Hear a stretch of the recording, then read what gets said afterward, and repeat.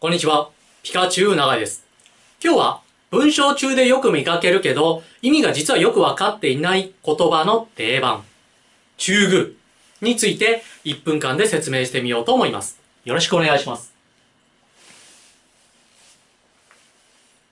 中具、旧というぐらいですから、もともと建物という意味を持っていました。そもそもは、三号の住むところ、対皇太后、皇太后、そして皇后の三号の住むところを指しました。そこから遠曲的に三号そのものを指していました。その後、皇后だけに使われるようになりました。つまり、皇后と中宮は同一人物でした。天皇の奥さんが一人だけならそれでよかったんですが、藤原道長の時代に二人になるという時代が起きました。その時に、先の置き先を皇后、後から来た置先を中宮というようになりました。これ以降、鎌倉時代が終わるまではずっと続きます。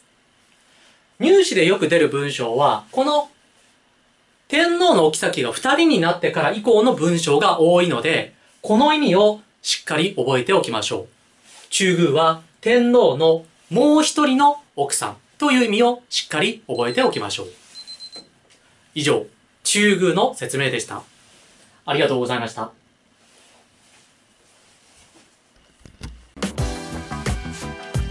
ピカチュウ長いです。古文漢文ゲットできたかな？チャンネル登録して